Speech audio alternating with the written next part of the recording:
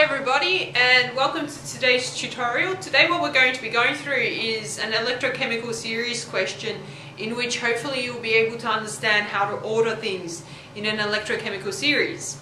Okay, so I've written up a question which says basically the following. A chemist made the following reactions. So what happened was metal X dissolved in some kind of one molar solution of a salt, okay, forming a deposit of Y solid. Then it says metal Z did not react with um, the salt um, X nitrate. And finally, metal Y did not react with ZNO3. So again, what we have to do here is we have to understand that this is going to be, we're going to have to place this into electrochemical series order, which basically means that we have to figure out All, what the half equations are. Well, we don't have to, but I just want you to understand what is going on in this particular situation. So, we, the, the question actually is that um, we have to find the ease of extraction of metal X, Y, and Z from the ores. So normally metals, they're trapped in ores, meaning that they're trapped with oxygen reactions and mixed together, and they're very hard to get in the pure form. So what you need to do is um, hopefully by their spontaneous reactions you're able to take them out. And what we're going to do is we're going to see how easily, depending on the electrochemical series, which one's the easiest to extract to get as solid and which one's the hardest to get as a solid. So that's exactly what the question is asking us. Okay, so let's just list the um, particular metals and let's write up half equations for them. So I'm not going to put them in any particular order yet, I'm just going to list them. So I'm going to say, okay, my ion X, now X is plus 2, I can tell from my number here, plus 2 electrons, is going to produce X solid. Okay? The other metal is um, going to be Y2 plus, plus 2 electrons. Actually, it's Y plus, because it's just mixed with nitrate.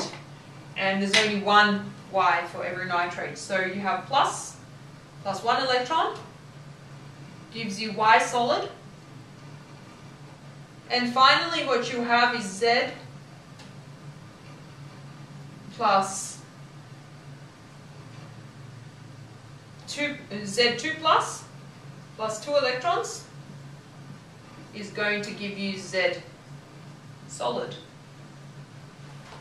Okay, so let us have a look at how we're going to um, arrange these in order.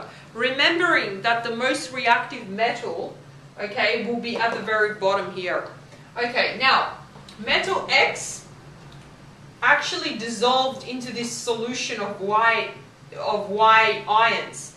So here you have Y ions, okay, from your salt, and metal Z, metal um, X actually dissolved. So this is actually not going to happen. You're not going to have this arrangement. You're going to have an arrangement where X must be underneath. Otherwise, if you're standing right here, you're going to have to move uphill to get to X. Okay, so X really must be downwards. So what we're going to do is we're going to flip these two equations around and just rewrite them. So we have y, y plus, plus an electron is going to produce y solid. And then we're going to have x2 plus, plus 2 electrons will give us x solid. Okay, so let's just double check that it works now. So we have y plus, and we have metal X being underneath, so metal X will react. So yeah, it works. Okay, now let's have a look at this one metal Z did not react with your salt version. Okay, so where's metal Z? Here it is. And it does not react with this particular item here. So it shouldn't be in that position. Okay, we should be able to, we should have to rearrange this. So this one is unknown where it is, but we know it cannot be, it cannot be below X. Okay, and now, one last thing that we know in equation number three is y did not react with your salt of Z. So here you have your salt of Z, and basically what you know is that Y could not react. So it works at the moment, Z will not react with Y, but basically you will have metal Z reacting, not reacting with X either. So basically what that tells you is that this equation must be somewhere in between here. So let me just write it up and see if it works. So basically this is just a whole lot of trial and error, okay? You really have to just play around with your equations and hopefully come up with something smart. So we have Z, sorry, X plus 2 plus 2 electrons give us X solid. Let's have a look if that works now.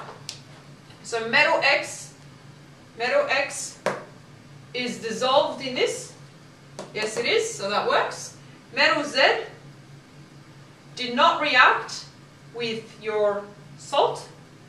That's a non-spontaneous reaction, so it will not happen. So that's true. And finally, metal Y did not react with your particular salt version. So it doesn't. Okay, so now that's the proper order. And what the question, to answer the question, it says the ease of extraction of X, Y, and Z from the ores is. Now, if you want to get something out of the ore, it has to be really easy to convert into a metal. Okay, so basically this particular reaction has to be more likely to happen. And as you know, in a electrochemical series, the equations that are placed at the top are more likely to happen than the equations that are placed at the bottom. Because at the bottom, things will not want to accept electrons. Okay, so this one is going to be uh, a, uh, going to happen with relative ease, and then this one's going to get slightly harder because it wants to accept electrons less than that. And then that one is even more unlikely or more harder to make successful than either of those two. So basically the ease of extraction, this will be the easiest to extract. So first it will be metal Y that you will extract. Then it will be metal Z that you extract. And finally it will be metal X that you extract as the last priority. Okay? So I hope you learned something in today's tutorial and I look forward to seeing you in the next ones. Um, just feel free to visit the website. We've got a chat room up there and so you can uh, visit. Also, I'm putting up way more information about especially lifestyle things for VCE. So just um, keep on visiting and yeah, have a great day. See you later.